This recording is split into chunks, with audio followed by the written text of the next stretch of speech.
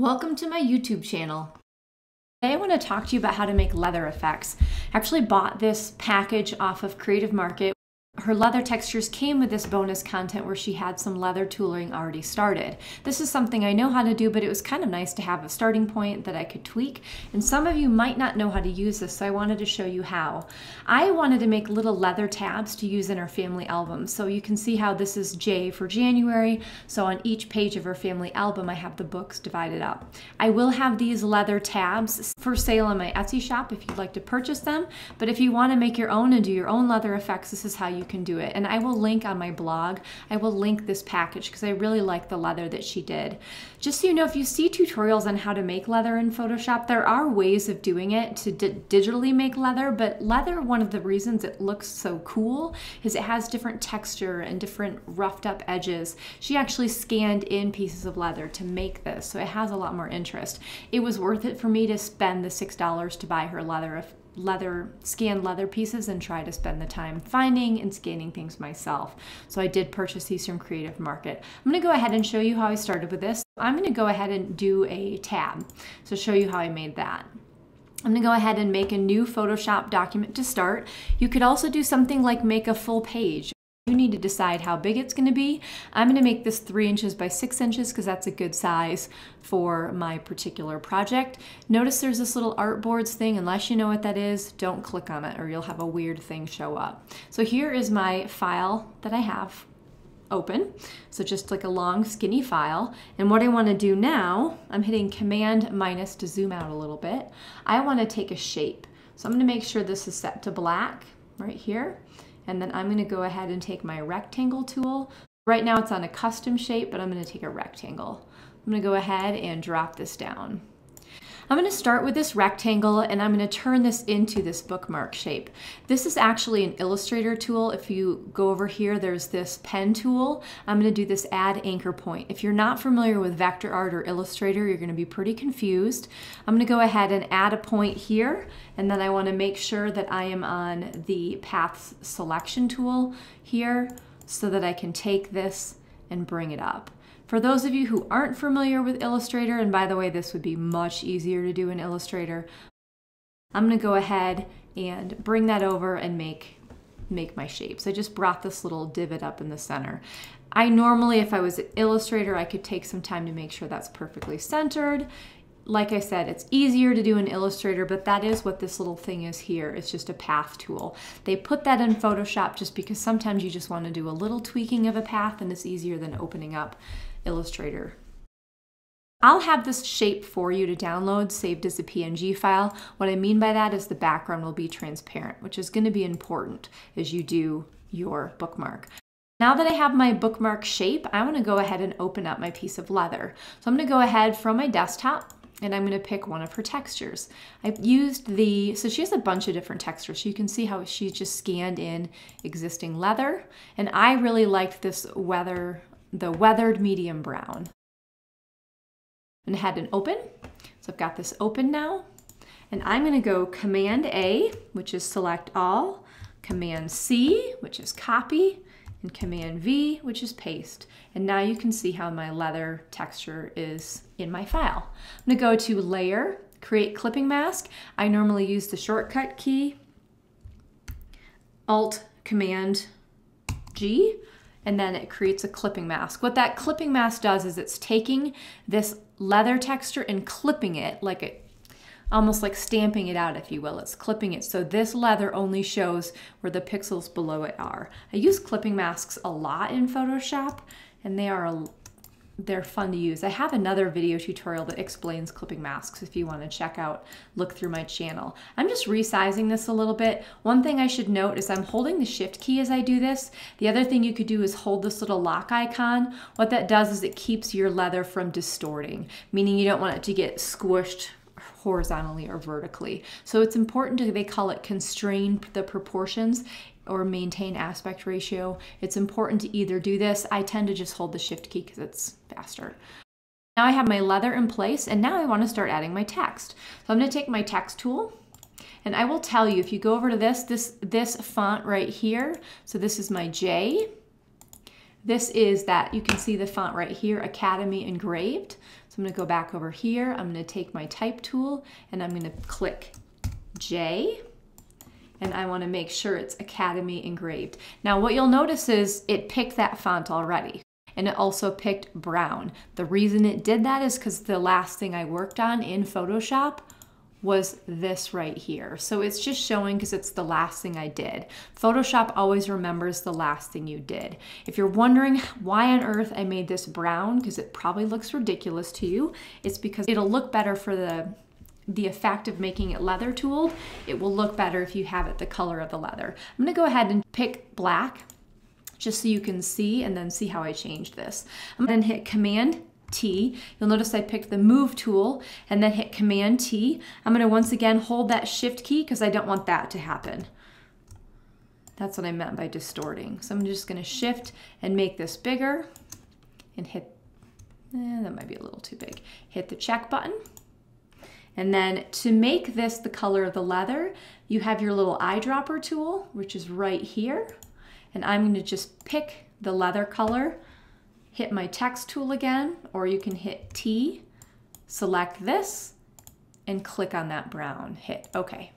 And then once again, too, you have to also say check. Yes, I want it to do that. So now once this color of my font matches my leather, now I can go ahead and copy some layer styles. So you can look right here. I want to copy the style of this bonus content where it looks like it's been punched into the leather. Right here, you can see how it says bonus content and see how there's that little FX icon on the right. If I click this little arrow, you can see these options, these effects that have been added. By the way, you add these by clicking on this little effects icon here. You can see bevel, emboss, stroke, blah, blah, blah, all of these different things that you can play with.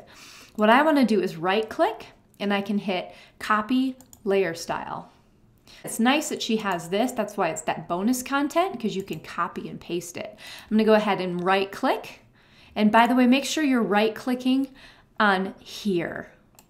If you're on a mouse or if you're on a Mac and you don't have a, a mouse that you can right click on, you can just control click instead of right click. All right, now I'm gonna go ahead and hit paste layer style. And then you can see how this is starting to look embossed. I don't really like how this looks. You have to remember that you've got different sizes of fonts and you've got all sorts of different things going on. So this is a starting point. I'm gonna go ahead and select the bevel and emboss. I'm gonna soften this edge a little bit. That's that edge right here. Right now it's on up. I wanna do down. So I changed it to down because I think that looks better. So see how just up versus down. So I've got down selected. I'm just playing with this slider until I like it. And then this opacity for your highlight, what they're doing is they're putting a light edge here and a shadow there to give it that 3D effect. So you can make your, your highlight brighter or less bright increasing or decreasing the opacity. It's very subtle. Make sure you have preview selected so you can see it change on this. And then you can see how the shadow can shift too.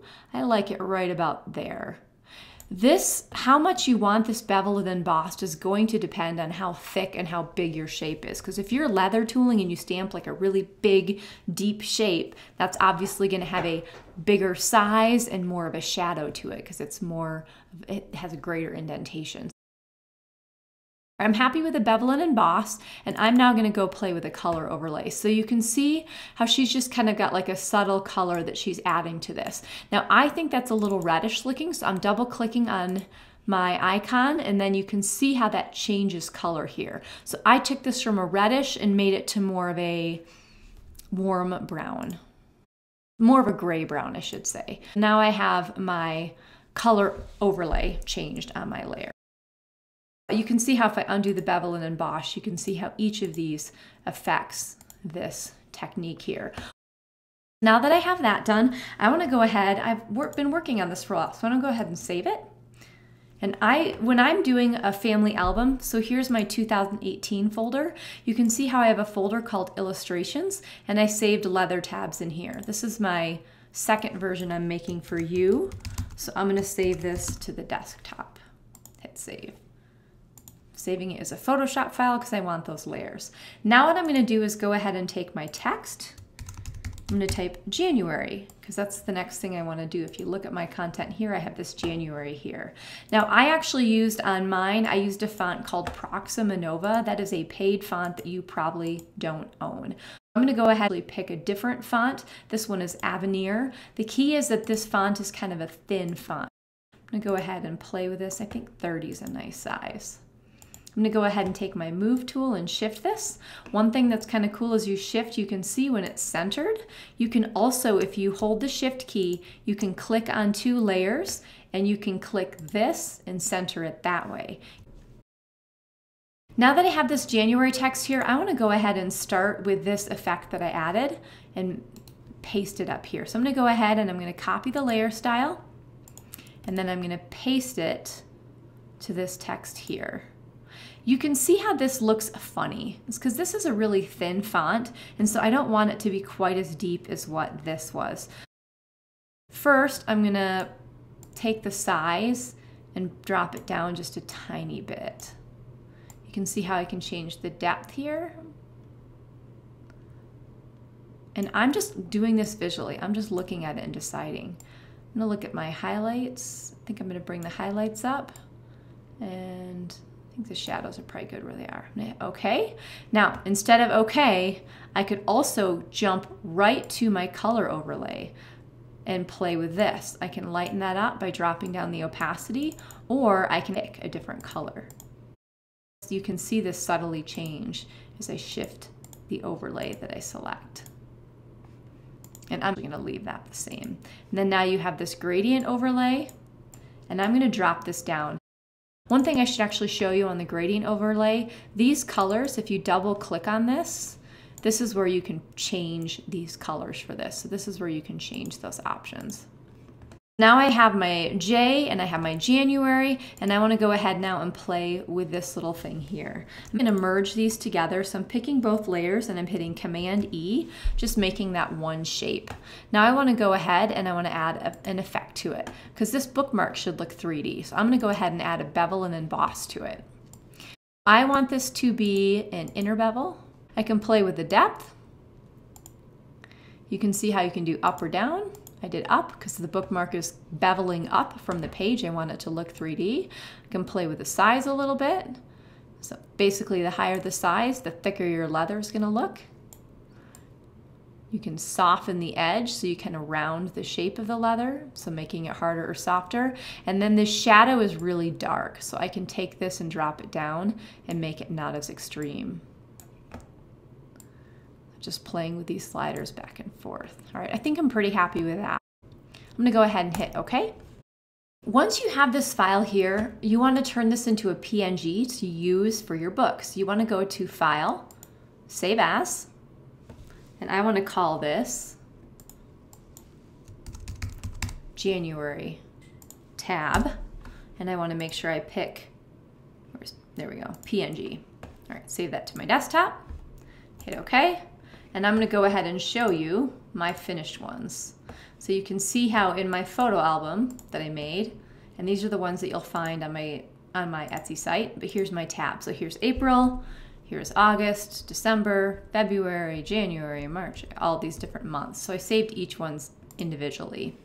To save or to change these, it's really simple. Once you do your January one, all you have to do is type in an F for February, and then change your font down here to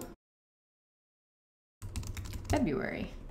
Some other things I should point out, I showed you how you could select both of these and center them. You can also select your bookmark shape and do the same thing. You need to be on the Move tool. With the Move tool selected and all three of these layers selected, I just held Shift to select all three, you can hit this centered and it will make sure this is perfectly centered for you. I will tell you that sometimes you need to tweak it because even when something is centered, there's a lot on this side of the letter. So sometimes even if it's perfectly centered, it might look visually better, just slightly off centered. It just, it depends on your preference, but just something to keep in mind. Now that I put the F and the February in, now I could go to File, Save As, and I could name this February.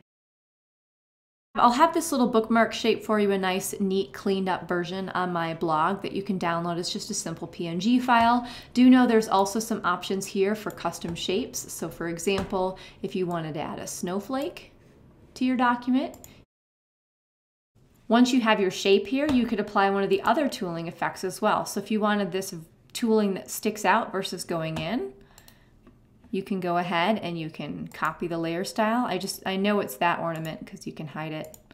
I can check and make sure that's the one I wanted. And then I can right click.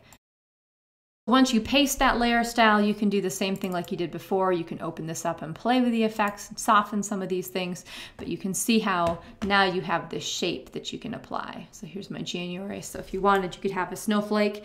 And just like before, if you Command T, Command T or Control T is a shortcut, but it's also free transform under Edit is where you can find that. I want to make sure I either hit this lock icon or hold the Shift key so that the proportions are constrained. I can hit the little check and now I can move my snowflake around so it looks better, a little bit smaller. So if you wanted to add a little icon to your leather tooling, you can do that as well. This can be applied in a lot of ways. I used it to make little leather tabs. I'll go ahead and open up my family album so you can see how that looks. I'll go ahead and open up this 2018 pages. And so you can here, you can see it in February, and then here it is at the beginning of January. Most of you probably aren't using InDesign. I'll make put this in presentation mode so you can see. But if you were doing this in Photoshop, you could easily what I do is I'll make like a photo. When I used to use Photoshop for my family albums, I'd make a page in Photoshop and then you can just simply place this PNG file. I want to show you a few extra things with this bonus content. You'll notice she has some grommets and stitches. So here she has the stitches right here. I'm going to go ahead and show you. So this little section of stitches here, I can go ahead and I can, so this is, I can tell which one it is because I hit it and you can see how it showed up there. I can go ahead and I can go to duplicate layer and I can put this in my, oh, I don't know which leather tabs it is because I call them both the same thing. Oh, well, it doesn't matter. I'm gonna go ahead, it looks like it put it in here. So here's my leather tabs. I'm gonna hit that Command or Control T and I can resize this. I think those stitches are a little too big. So I'm making them a little bit smaller. And I can go ahead and click check to place them in. And then what I can do from here, that's kind of cool, is if I take these stitches and I drag it down to just above my leather, if I do that same layer, create clipping mask, you'll notice how it clips the stitches. They can't go beyond this leather tab here. So that's another fun technique. If you want to do something different with these leather effects, now you know how you can actually use this as a starting point and play with these grommets and play with these stitches and add some of these effects to your own shapes and text. Enjoy and have fun creating.